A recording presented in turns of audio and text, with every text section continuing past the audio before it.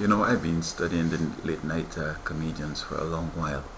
Many individuals were saying that um, we, need laughter before we go to bed because it helps in sleep or whatever. Um, and the scripture says that, you know, a merry heart is good for the bones and for your health. But I'm not sure if the kind of thing that goes on at night is the thing that helps you to have better health. I think that uh, focusing, everybody you know wants to be a joker.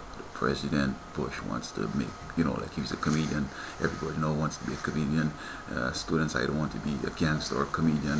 When we get serious, people would have the type of mind that could pursue science and, and business and come up with some new ideas that will make America great again. I think that um, if I had a great mind, and I was able to solve all the problems of the country, which I think I can. But suppose now I were that guy and people recognize me as such, and I get me a late, late night slot in which I'm the comedian. Guess what? In a short while, I will cease to be the guy who could solve all the problems because when your mind is focused on making, looking for trivial stuff and trying to make uh, triviality of serious things, you just bring your mind down to a level, you call it uh, regression or to um, call atrophy or whatever, but the mind is never as it had been. And so I think that before you go to bed, it's like the sleepy effect. You listen to some comedians talking some stupid stuff, and then you go to bed and you wake up, you're just a stupid because overnight you're becoming like them. And, and, and the last thing you did before you go to bed, you end up the next day being real stupid. You just be a big comedian.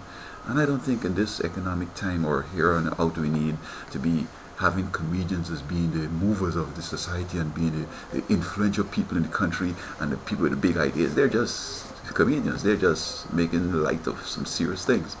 And I'm so glad that uh, President Obama is not giving them reasons to make, you know, joke of him because I think that uh, these comedians making joke of individuals, it will end up that these people serious efforts to look like a big joke and then everybody laughing at the president and then it's like nobody has respect for him. So whether Conan or, or, or uh, Jay Leno, I think Leno has the, he's a little different type of joke. This fellow looks like if he's scatterbrained, you know, this uh, um, Conan guy and uh, the kind of stupidness he's going. I don't know if people who want to have him before going to bed, but hey, you choose anyone, they might do the same thing and making the whole nation become very trivial.